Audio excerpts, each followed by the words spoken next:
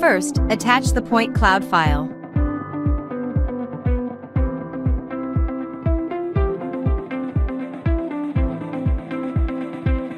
You can use the new View widget to change views of this model.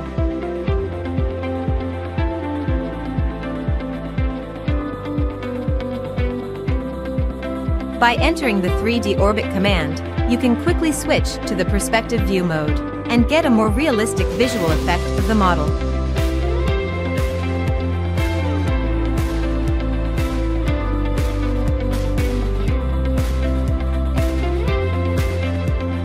Apply the section plane function to draw the outlines of the model.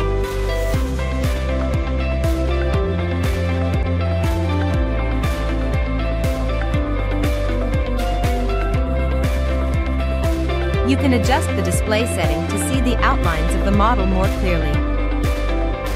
You can also use the Viewport Control widget to add views to assist with the drawing.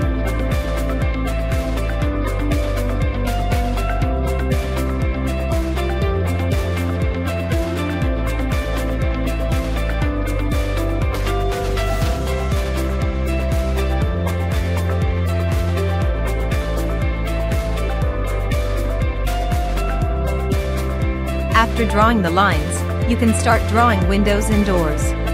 With the FlexiBlock function, you can change their shapes without creating multiple blocks.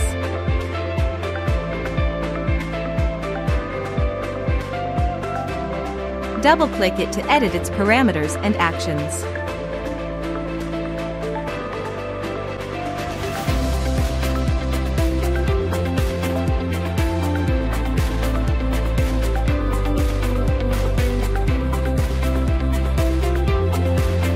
Then you can use the Quick Properties panel to modify the layer color or line type of doors and windows.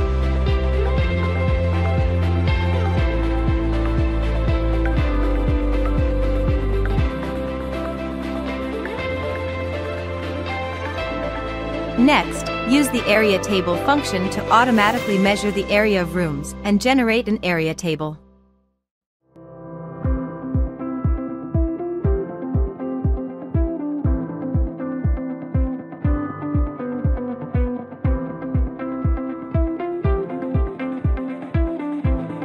Lastly, add a drawing description using the mText function.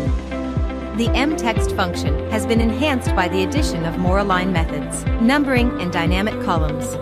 Here, you can use the numbering function to auto-number the text.